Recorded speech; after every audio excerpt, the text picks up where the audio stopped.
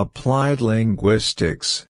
Applied linguistics is a field of study within linguistics that focuses on the practical application of linguistic theories and principles to address real-world language-related issues and solve language-related problems. Sub-branches of applied linguistics.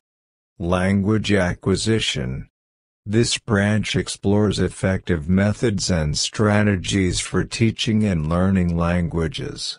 It includes language pedagogy, teaching methods, second language acquisition research, and development of language teaching materials, neurolinguistics and psycholinguistics, these branches explore the cognitive processes involved in language production and comprehension.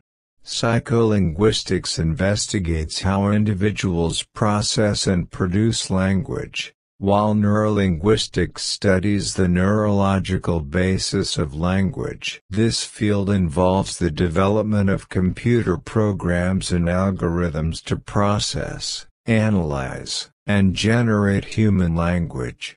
It plays a crucial role in natural language processing, NLP, and artificial intelligence, Corpus linguistics Corpus linguistics involves the compilation and analysis of large collections of spoken and written language to investigate language patterns and usage in various contexts. Forensic linguists apply linguistic methods to analyze language evidence in legal settings, such as authorship identification, linguistic profiling, and language in the criminal justice system.